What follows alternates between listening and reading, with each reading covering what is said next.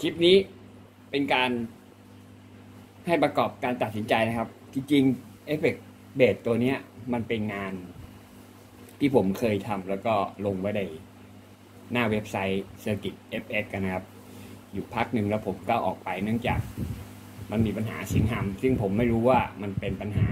ของวงจรหรือว่าจากที่ผมนำมา modify ใหม่ เพราะตัวนี้จริงๆ ดั้งเดิมมันคือDarkglass Vintage Microtubes นะครับ ก็คือจะไม่มีปุ่มโทนสี่ปุ่มนะครับ จะมีแค่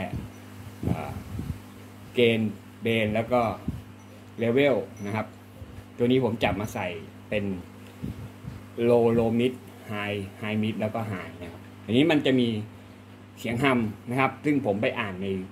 เว็บต่างประเทศ เว็บคนเล่นเบสของต่างประเทศนะครับ ทุกคนที่ใช้ Darkglass อยู่เนี่ยเขาบอกเลยว่าไม่ว่ารุ่นไหนนะครับ เขาจะเอ่อตัวที่เป็น B3K หรือว่า VMT เนี่ยก็จะเจอเสียงฮัมเวลาปรับกีย์เยอะซึ่งตัวนี้มันก็มีเสียงฮัมนะครับนี่ได้ยินไหมอันนี้เกณฑ์นี่ผมปิดอยู่เลยนะนี่ปุ่มนี้คือปุ่มเกณฑ์ผมปิดไว้ครับ อันนี้เป็นเบนเบนนี้ก็เปิดไว้ไว้สุดเลย แล้วก็นี่เลเวลเปิดไว้สุดเหมือนกันนะครับ ได้ยินไหมอันนี้ผมจะเปิดเกณฑ์ขึ้นมาเดี๋ยวผมจะลดเลเวลก่อนลดเลเวลเสียงเกณฑ์เออเสียงฮัมมันลด แล้วก็เล่นเกณฑ์ขึ้น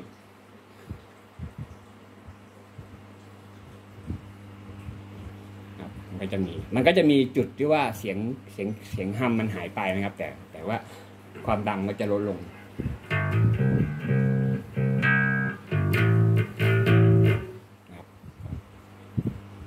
ก็ประมาณนี้ แต่ถ้าเราปรับไอ้ตัวเนี้ยสวิตช์แอตแทกมาไว้ตรงกลางปุ๊บเสียงห้ามมันหายเพราะว่า ย่านความถี่ต่ำมันโดนตัดหมดเลยนะครับ ก็จะกลายเป็นแหลมแทน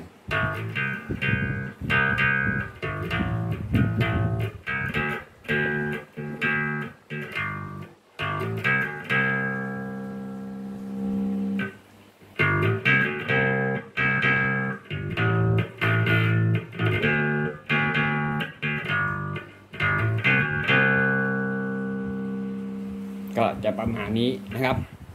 ส่วนตัวถามว่าผมชอบไหม ผมชอบนะ แต่ว่า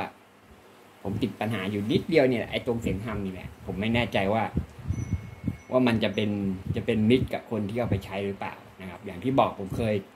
ทำลงขายอยู่ในหน้าเว็บอยู่พักหนึ่งแล้วมันติดปัญหานี่ผมก็เลยออก แต่ตัวเนี้ย ผมถือว่าจริงๆแล้วมันก็เล่นสนุกครับ แต่พอเราผักตัวเนี้ยสวิตช์เนี่ยนะครับเสียงฮัมมาเลยนะครับแต่ถ้าเราลดเกณฑ์ เกณฑ์มันก็ลดลงนะครับ แล้วก็ ตัวเนี้ยมันก็เป็นตัวช่วยได้ ย่าน เอ่ออะไร โลมิดชูโรเจนได้ประมาณนี้นะครับอันนี้กับใบพัด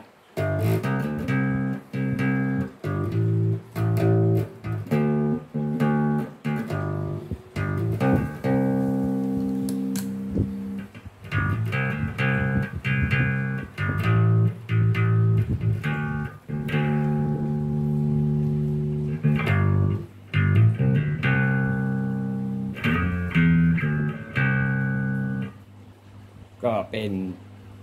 แนวทางนะครับ ว่าคิดว่ามันจะเอาไปใช้ได้ไหมอะไรไหมนะครับ ค่อยมาว่ากันอีกทีส่วนตัวผมก็ถือว่ามันใช้งานได้แหละครับ แต่ว่ามันก็ยังติดปัญหานี่แหละ คือปัญหานี้มันก็เป็นมาจากการดีไซน์วงจรดั้งเดิมของของของดาการ์ดเองนะครับ ที่เขาเอาชุดที่เป็นเรียกว่ามูเกนนะครับไอตัวมูเกนเนี่ยสมัยย้อนไปทักยี่สิบสามสิบปีที่แล้วเนี่ย พวก DIY ชอบเอามาทำเป็นเป็นวงจร คีนบูทกันนะครับ มันให้เสียงที่แบบดังแบบสนั่นนะดังลั่นเลยนะครับ ตัวนี้ก็คิดเอาว่าพอเราเอาเอาคีนบูทมาไว้ข้างหน้าแล้ว แล้วข้างหลังเนี่ย มันต้องไปเจอกับเสียงตรงเสียงแตกอะไรเนี่ยมันจะก็จะเกิดปัญหานี่ครับเสียงหับ